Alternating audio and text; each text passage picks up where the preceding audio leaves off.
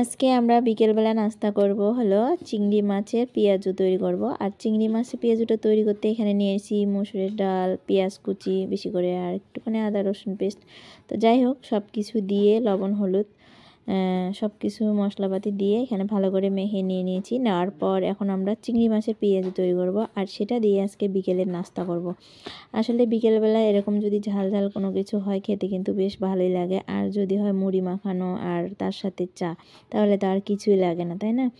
আর আসলে একা একা এভাবে নাস্তা বানিয়ে খেতে ভালো লাগে না। আর যদি বাসায় কেউ থাকে বা হলো কোনো বেশি সদস্য থাকে তাহলে খেতে কিন্তু সবাই মিলে ভালোই লাগে।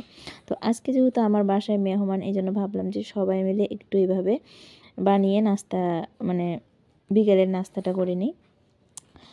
তো তাই চলে আসলাম বিকেলবেলা নাস্তা রেডি করার জন্য। তো এখানে দেশি যে চিংড়ি মাছটা ছোট ছোট ছিল সেটাই আমরা পাটার মধ্যে বেটে নিয়েছি। আর একটুখানি ডাল দিয়ে সব কিছুই দিয়ে এইভাবে পেঁয়াজু তৈরি করে নিচ্ছি। তো আসলে এইভাবে পেঁয়াজু খেতে কিন্তু বেশ ভালোই লাগে, খারাপ লাগে না। তো এখন আমরা মুড়ি মাখাবো।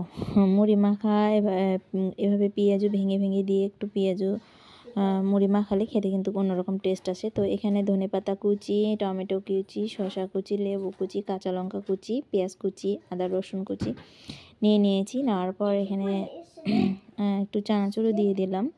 আর স্বাদ মতো একটুখানি লবণ দিয়ে দিলাম।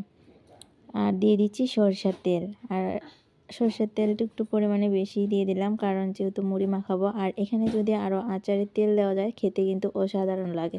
তো এখানে আমরা এই যে পেঁয়াজগুলো একটুখানি কয়েকটা পাঁচ ছটার মতো পেঁয়াজও ভেঙে দিয়ে দিলাম। দেওয়ার পর মুড়ি মাখিয়ে নিচ্ছি।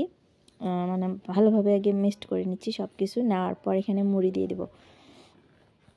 তো আসলে এভাবে মুড়ি মেখে খেতে কিন্তু ভালোই লাগে। আর এখন যেহেতু শীতের বিকাল, আর তো কোনো কথাই নেই। এরকম মুড়ি মাখানো, আর তার সাথে চা তার সাথে মজা মজার গল্প, তাই না? একেবারে জমে যায়। তো যাই হোক, সব মিলে ভালোই কাটবে আজকে সময়টা বিকেলবেলা। তো এই যে এখানে সব কিছু আমরা নিয়ে নিয়েছি, এখন আমাদের খাওয়ার বেলা তো আজকের ভিডিওটা এতটুকুই। সবাই ভালো থাকবেন, সুস্থ থাকবেন